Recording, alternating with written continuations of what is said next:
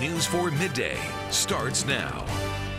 And the key to the perfect pasta dish, you cook it, I'll eat it. We are cooking the favorite today in honor of National Pasta Month and showing the secrets to keeping it healthy. Food, speaking of food, October's National Pasta Month, and believe it or not, Americans eat approximately 20 pounds of pasta every year. In parts of Italy, the number is even bigger. The average person eats about 51 pounds of pasta. Yum.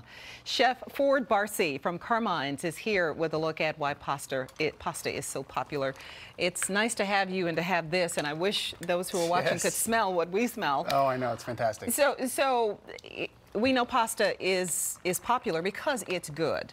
Uh, but but is it because the pasta is so versatile? Is that what really makes yeah, it so you know popular? what? I think it is. It's kind of it's kind of like rice in a way that you can put whatever kind of flavors and Yeah. sauce with it that you want, and it absorbs it. So any kind of taste or kind of kind of you know preference can have pasta and be, and be great. A- and pasta doesn't have to ruin your diet.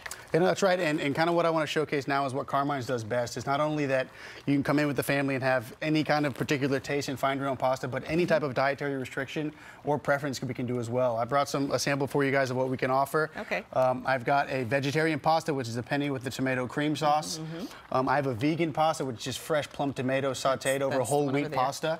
Um, and I've got your classic meatballs in front for anyone that just wants to go all out, just like you probably should at Carmine's. The meat Um, lovers. and then what I've had simmering here is my favorite pasta, which is our mixed seafood, which has lobster, clams, mussels, shrimp, and calamari. Ooh. And I've got on the side here a gluten-free pasta made from corn that we offer, which is my favorite. Yeah. So what's really cool is that you can have the whole family and pick and choose and get a few dishes to share, but do not worry about if you have a gluten pre- preference or a dietary restriction, come on, we're familiar. We even have our own gluten-free and allergy menu that's a separate from the regular menu. You know, people uh, would, would think you can't eat gluten free and you can't eat, uh, you know, a low calorie meal at, a, at an Italian restaurant.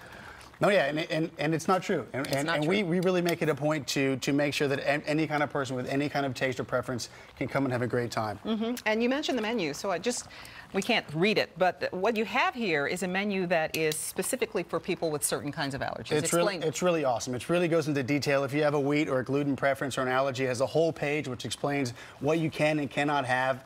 Um, dairy, garlic, nuts, all that kind of stuff. You are taken care of when you come to Carmine's. Is there a, a trick to preparing gluten-free pasta? Because I've cooked mine a little too much, and I'm just going to pour this over while you're going. oh my gosh, it's nice and hot. The trick to gluten-free pasta this, is it's beautiful. You know, it, just, just like with any other pasta, make sure there's enough water, that it's seasoned right. You don't want the pasta to taste bland. Even though you season the sauce, make sure you season the water that the pasta's cooking in as well. Mm-hmm. Um, the other thing is, you want to put it in the sauce right when it's ready. You don't want it to sit. Ah. It can become soggy, gluten-free pasta. You want it right when it's done. Get the sauce on and serve it Okay. immediately. That's that's that's my advice. All right. Well, you're going to fix a, a little plate All right, I'm for me you taste plate, here. yes, Gotta taste exactly. it. Now, I understand you have a special, some special events coming up this week.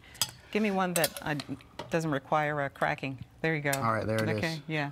Uh, you got something special happening? Um, yes, my wife and I are having a baby. I actually due this Thursday. Hi.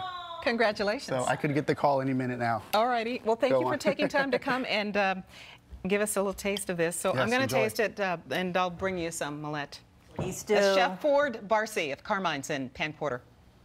Oh my goodness, it smells so good in here. Thank you.